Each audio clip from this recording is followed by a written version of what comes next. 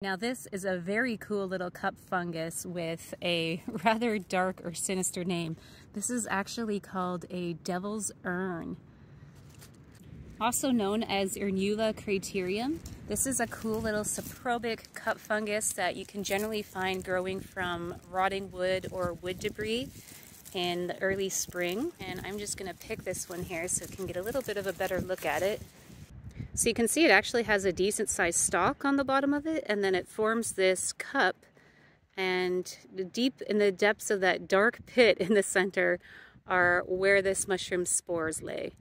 We've actually got a few of them growing in this little patch here. This one has actually got water on the inside. There's another little one there. And then we've got these two ones going right side by side very, very cool speckled appearance on the outside too.